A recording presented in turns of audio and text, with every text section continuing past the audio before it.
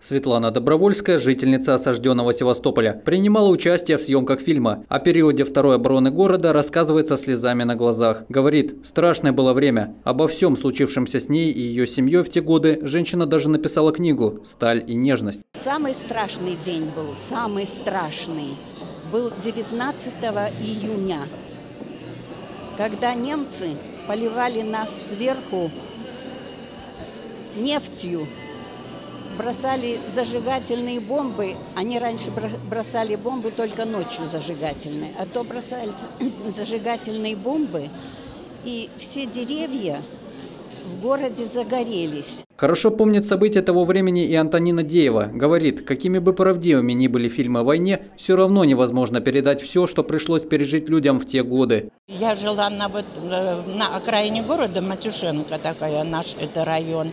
А и когда бомбили нашу Матюшенко, то мы, потому что здесь э, от нас недалеко была 35-я батарея, с 35-й батареи маме привозили э, стирать вещи окровавленные.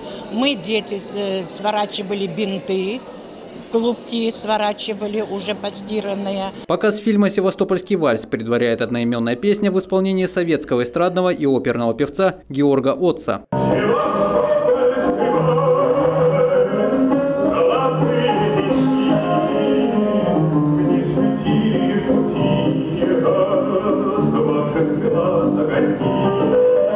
Музыку к знаменитой песне «Севастопольский вальс» в 1955 году написал композитор Константин Листов, а в 2016 его правнучка, тележурналист Елизавета Листова, сняла документальный фильм, который назвала точно так же. По словам автора, лента повествует о второй обороне города-героя, его защитниках, а также о тех испытаниях, которые выпали на долю мирных жителей Севастополя. Я с удовольствием продолжила дело своего прадеда, а, поскольку для него Севастополь был абсолютно особенным городом, город, который он горячо любил, город, о котором он мне рассказывал с детства, и я выросла со словом «Севастополь», это было слово из моего детского лексикона.